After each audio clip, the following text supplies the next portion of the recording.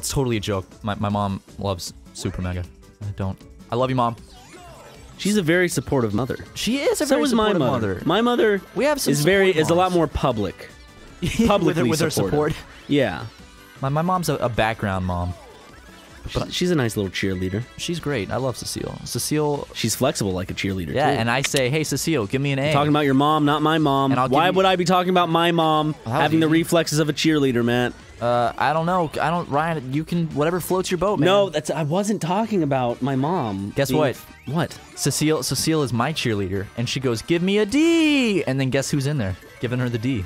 Matt You? Watson, and the D actually means my penis.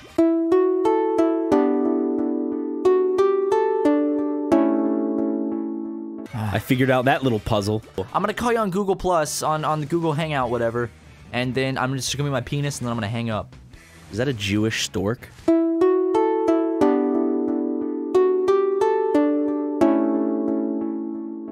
Or ostrich? Why would you say that? Because he has a little hat. Not because of the the large nose-like beak.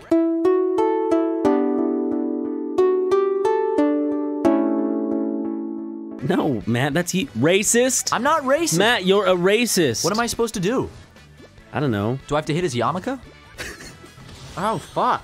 He has those glasses because he has to pay close attention to. Never mind. To the, to the Hebrew text or to the uh, the We've done too many? Jew jokes, Matt. There's no such thing as too many Jew jokes, Ryan.